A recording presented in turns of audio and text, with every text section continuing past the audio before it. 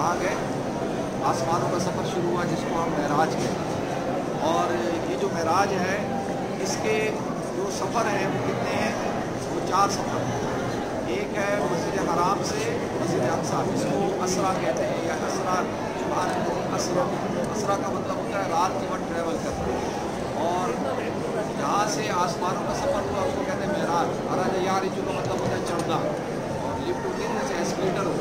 سفر ایسے ہوا تھا لفٹ کے ذریعے سے، ایسے اوپر، خوراک میں نہیں ہوا تھا۔ اور پھر ہر آسمان پر اللہ رب، اللہ کے رسول صلی اللہ علیہ وسلم کی ملاقات ہوئی انبیاء کرام سے، اور ساتھ میں آسمان پہ حضرت ابراہیم علیہ السلام سے ملاقات ہوئی۔ اور اس کے بعد وہ میں انشاءاللہ کل فجر کے بعد بتاؤں گا کہ حضرت ابراہیم علیہ السلام نے ہمارے لیے کیا پیغام دیا۔ وہ کل فجر کے بعد انشاءاللہ۔ تو اس کے بعد سدرت المنتہا پہ پہنچ کے حضرت ابراہیم علیہ السلام نے کہا یا رسول اللہ میں اس سے آگے نہیں جا سکتا یہ ہماری میرا اور آپ کا یہ آڈر ہے۔ اس سے آگے میں نے اگر اپنا پر بھی رکھا تو میں جل جاؤں گا، ختم ہو جاؤں گا۔ تو وہ جو سفر ہے، وہ آپ کا ہوا ہے کس چیز کا؟ اس کو کہتے ہیں رف رف۔ وہ ایسے تھا جیسے کارپیٹ کے اوپر بیٹھ کے رف رف تیز ہوا کی طرح سے وہ سفر۔ تو اللہ کے رسول صلی اللہ علیہ وسلم کے کتنے سفر ہو گئے؟ ایک تو اسرا ہو گیا، ایک معراج ہو گیا، اور ایک رف رف ہو گیا۔ اور اس سفر میں آپ نے کچھ پیدل بھی سفر طے کیا تھا آپ وہاں سے کیا ہے وہ پیدل سفر کو ہٹا دیا جائے گا سفر ہوئے ایک میں ہوا۔ ایک چڑھائی کا عرج معراج اور ایک رف رف کا تو پھر اللہ کے رسول صلی اللہ علیہ وسلم اللہ رب العزت کے پاس پاس پہنچے سمت اللہ فد اللہ فقان بابا حسین احمدہ باؤحا الا عبدی باؤحا وسول پورا اللہ تعالیٰ نے بیان کیا ہے اور وہاں پر اللہ تعالیٰ نے آپ کو کچھ توفیہ ادا کیے ان میں سے ایک نماز کا تو یہ سفر جو ہوا ہے وہ یہاں سے ہوا ہے یہ جو چھوٹا سا آپ کو ایک گفا نظر آ رہا ہے کہ آپ ابھی آپ جب یہاں سے جاتے ہیں تو یہاں پہ آپ کو ایک گروپ نظر آ رہا ہے ادھر ایک اندر سے چھوٹا سا ایک سوراخ سے اگر اس میں آپ ہاتھ ڈالیں گے تو وہاں پر ایک قدم کا نشان ہے۔ اور وہ روایت بات چلی آ رہی ہے شروع سے کہ وہ اللہ کے رسول صلی اللہ علیہ وسلم کا قدم مبارک ہے۔ اب ہنڈریڈ پرسینٹ یہ بات نہیں ہے، لیکن یہ صحیح بات چلی آ رہی ہے۔ تو یہ نہیں کہ کوئی تو پہاڑی ہوگی جس کے اوپر آپ نے یہ چٹان ہے، جس کے اوپر آپ نے اپنے قدم مبارک اچھا اب یہ سوال یہ ہوتا ہے کہ اللہ کے رسول صلی اللہ علیہ وسلم کو یہاں سے معراج کیوں عطا کی وہ اس لیے عطا کی گئی یہ جو آسمانوں کا جو دروازہ ہے، ابواب السما جو ہے، وہ اللہ کے رسول نے ارشاد فرمایا کہ یہ جو زمین ہے، ارض المنشر والمحشر ہے۔ یہاں پر ہم سب جمع ہوں گے اور یہیں سے ہمیں اٹھایا جائے گا۔ تو آسمانوں کا جو دروازہ ہے، وہ اس کے اوپر ہے، اس کے سیٹ میں۔ ہے تو حضرت عیسیٰ علیہ السلام کو آسمانوں پر اٹھایا گیا یہاں سے۔ نبی کریم صلی اللہ علیہ وسلم تشریف لائے اور آپ کا آسمانوں کا سفر ہوا یہاں سے۔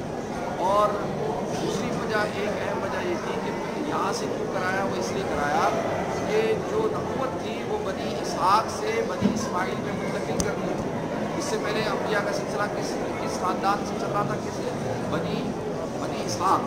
تو وہاں سے منتقل کرنی تھی کدھر؟ بنی اسماعیل۔ لہٰذا اس کے لیے اللہ کے رسول صلی اللہ علیہ وسلم کو یہاں بلایا گیا اور آپ کو یہاں پر امامت کروائی گئی۔ بھائی بیت امامت بیت اللہ میں کرواتے تو زیادہ بہتر تھا نا، آپ اگر آپ کہیں کہ جی وہ سب سے افضل جگہ ہے، تو وہاں کراتے لیکن وہاں نہیں کرائی، اس لیے نہیں کرائی کہ اب جو رسالت تھی وہ منتقل ہونی تھی، بنی ساخ سے بنی اسماعیل۔ تو بنی ساخ کے جتنے انبیاء کرام تھے، سب کو یہاں جمع کیا گیا، کیونکہ ان کا قبلہ اول سب کا یہ تھا۔ اور لا کر جب دیکھیں کوئی کسی کو اعزاز دیتی ہے یا بادشاہ کسی کو اعزاز دیتا ہے، تو اس کو اپنے محل میں بلاتا ہے نا۔ اور اس کو بلا کے پروٹوکال ہوتا ہے۔ پورا محل اور لوگوں کو کھڑا کیا جاتا ہے، استقبال کیا جاتا ہے۔ تو اللہ کے رسول صلی اللہ علیہ وسلم کو سید الاولین والآخرین کا خطاب دینا تھا، خاتم النبیین کا خطاب دینا تھا اور اب کو امام الانبیاء بنانا تھا۔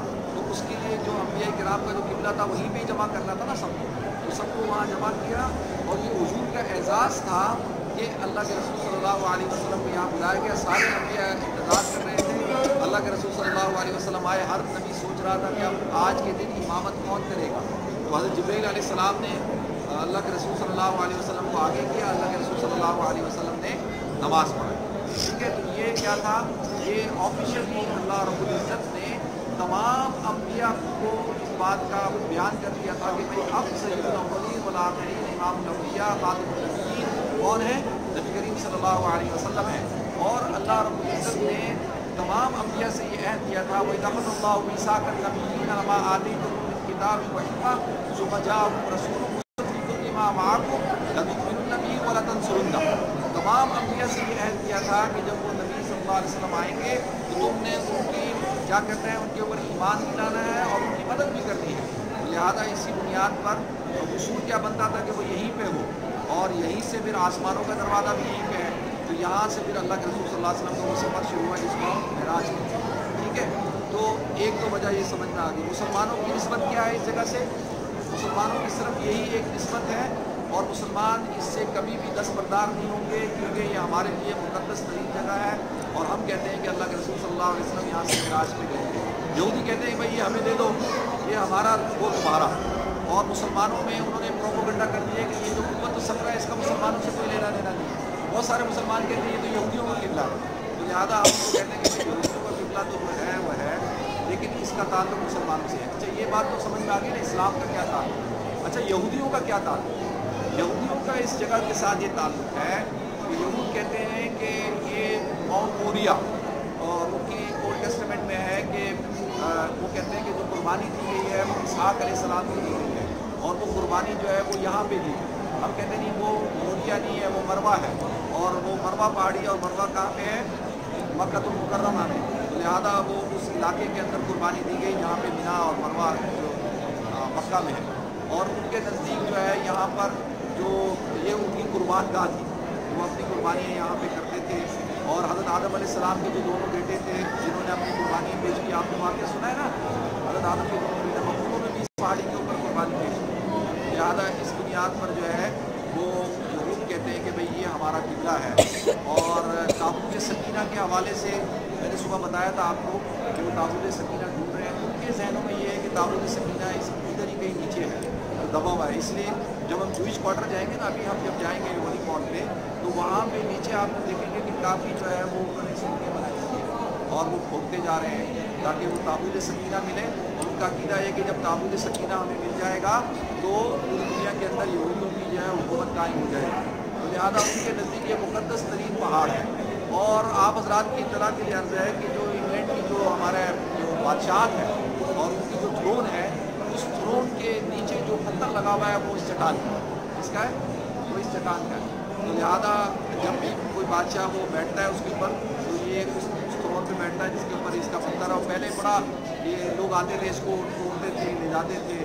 تو لہٰذا اب انہوں نے اس کو ایسے کور کر دیا تاکہ کوئی اس کو توڑ کے اس کا کوئی حصہ لے کے نہ جائے۔ تو اب جا نہیں سکتا نا اس کا تو صرف چھونے کے لیے وہ جگہ بنا دی ہے۔ تو یہودیوں کے نزدیک اس لیے یہ مقدس ترین جگہ ہے کہ وہ ان کی قربان گاہ ہے۔ اچھا ایک اور آخری بات عرض کر دوں عیسائیوں کے لیے کیا ہے اس کے اندر؟ عیسائیوں کا کوئی اتنا انٹرسٹ نہیں ہے اس جگہ سے۔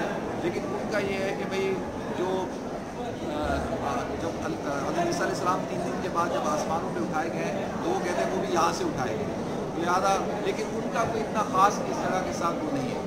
اور جب حضرت عمر رضی اللہ تعالیٰ آئے تھے، تو یہاں پہ آگے کچرا پڑا ہوا تھا، گند پڑا ہوا تھا، اور اس جگہ کو کوئی رکاوٹ نہیں کرتا تھا۔ تو حضرت عبداللہ، حضرت عمر رضی اللہ تعالیٰ کے ساتھ جو ہے، یہودی علماء جو کہ مسلمان ہو چکے تھے اس سے آپ نے پوچھا کہ بھائی وہ جگہ کون سی ہے جہاں پہ اللہ کے رسول صلی اللہ علیہ وسلم نے جو ہے وہ معراج پہ گئے تو انہوں نے بتایا کہ بھائی ایسے ایسے ہے۔ تو پھر انہوں نے کہا کہ نہیں، آگے آگے کی جگہ دیکھی کہا کہ بھائی ہم نے مسجد بنانی ہم وہاں بنائیں گے۔ تو انہوں نے مشورہ دیا کہ یہاں بنا دیں۔ تو آپ نے کہا کہ یہ جو ہے، تمہارے اندر سے لگتا ہے حضرت عبداللہ بن سلام رضی اللہ تعالیٰ کہ کہا کہ لگتا ہے ابھی تک تمہارے اندر سے یہودیت کے اثرات گئے نہیں کہ یہاں مسجد بنائیں اگر میں نے یہاں مسجد بنائی تو لوگ کیا سمجھیں گے کہ ہم مسلمان پتھر کی عبادت کرتے ہیں چٹان کی عبادت کرتے ہیں، مسلمان چٹان کی عبادت نہیں کرتا، اللہ کی عبادت نہیں کرتا۔ تو اب آپ کہیں گے کہ بھائی اب اس وقت جو یہ مسجد موجود ہے، یہ مسجد جو ہے یہ مسجد نہیں تھی۔ یہ صرف ایک ایک یہاں پہ ایک بلڈنگ تھی اس طرح سے۔ اس میں آٹھ ستون ہیں۔ جو جنت کے آٹھ دروازوں کی طرف رہنمائی کرتے ہیں، چار بڑے ستون ہیں جو مختلف چار مذہب ہیں، ان کی طرف نشاندہی کرتے ہیں۔ باقی جو نائنٹین سیونٹین کے اندر جب برٹش کیا یہاں پہ حکومت قائم ہوئی، تو مفتی الحسینی یہاں کے بہت بڑے مفتی تھے۔ تو ہوتا یہ تھا کہ لوگ آتے تھے، لوگ آ کے یہاں پہ چومتے تھے، طواف کرتے تھے۔ اور شرک کرتے تھے بدت کرتے تھے۔ تو مفتی الحسینی نے کہا کہ یہ تو لوگ آئیں گے، پتہ نہیں کیا کیا کریں گے۔ تو انہوں نے فتویٰ دیا کہ بھائی یہاں پہ جو ہے نماز پڑھنا شروع کریں تو لہٰذا پھر یہاں پہ نماز ہوتی ہے، اس طرف ہوتی ہے، اس طرف ہوتی ہے، ادھر ہوتی ہے، اس کے پیچھے نہیں ہوتی، تاکہ اس طرف سجدہ نہ ہو۔ تو مفتی الحسینی نے نائنٹین سیونٹین کے اندر یہ فتوا دیا، نائنٹین سیونٹی سے لے کے ایٹین ٹوینٹی میں ایسے اسی دورائے میں کہ بھئی اب یہاں نماز ہوتی لیکن اس سے پہلے یہاں نماز نہیں ہوتی تو یہ جو جگہ بنائی تھی عبد الملک نے بنائی۔ تو میں نے آپ لوگوں کو بتایا تھا کہ جو مفتی تھے، ان کی مسلمانوں کے اندر جو ہے، ان کے خلاف بہت نفرت تھی۔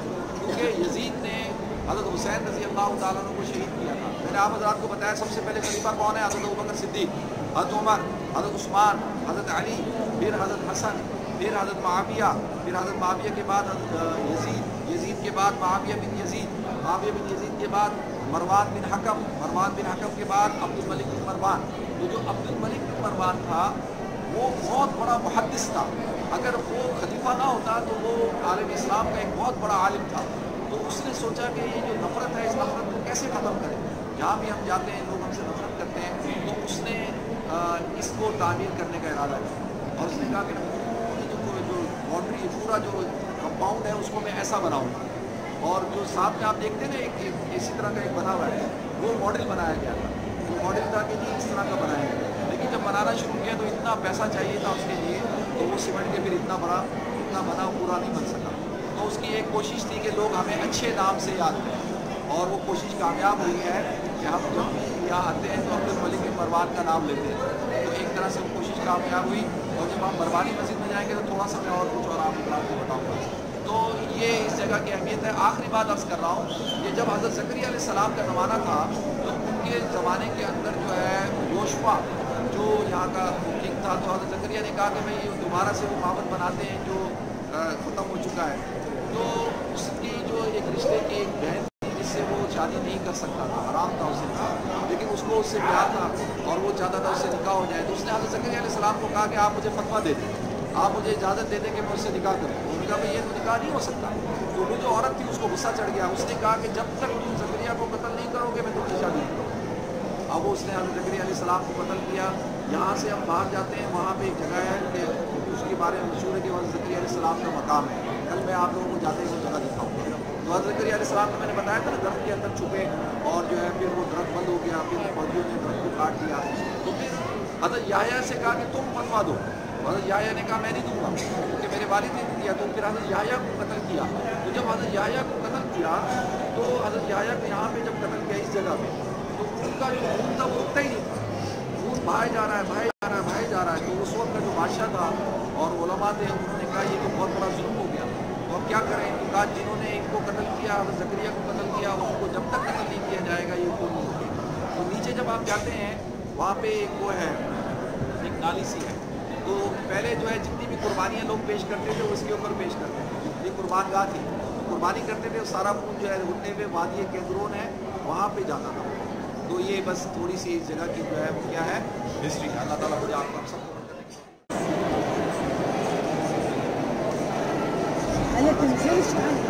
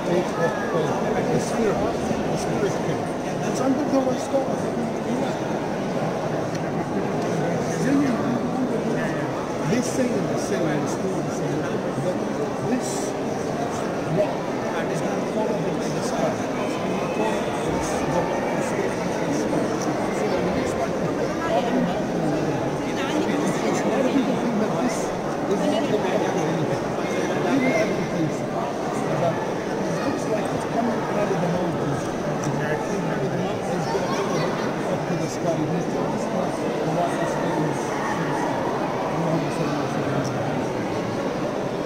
you can go under now.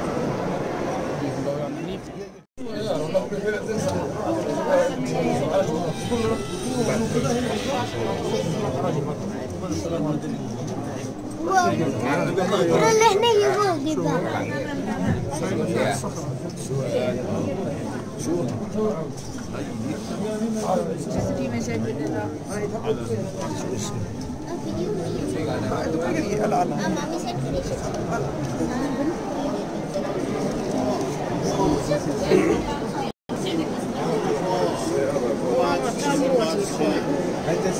tesier.